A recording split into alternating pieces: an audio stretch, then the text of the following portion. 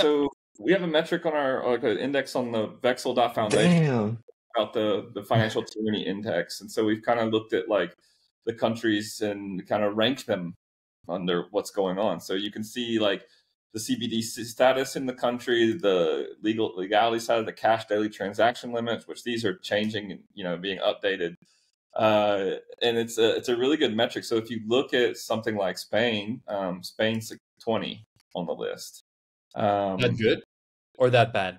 I, I mean, it's pretty bad. I mean, it, like okay. these are all this, this is the current state. So if we look at Spain, um, you're doing Ooh. research. Cryptocurrency is permissive. Your cash transaction limit is 1,000 euros.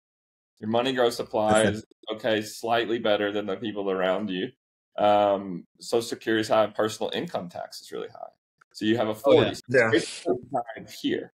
But actually, the funny thing with Spain is that uh, the personal income tax. First of all, I think you took the top, uh, top. Uh, how's it called? The tranche. You know, like the highest level.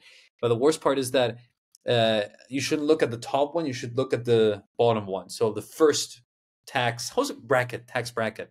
Yeah. And the funny part about it is, I think in Spain officially, it's only like 12% or 17%, something kind of low, kind of low. You think, oh, great. So if you're making less than $18,000, you only pay like 12% or 17%. But the reality is when you do when you actually do the economic calculation of the entire cost of the of the employee to the um, uh, business versus how much he gets, that's the effective tax, right? The gross income, not just what the government says your gross income is, but like what you see plus any extra costs relating to the government, like taxes or social security that your employer has to pay behind your back, so to speak, on their end.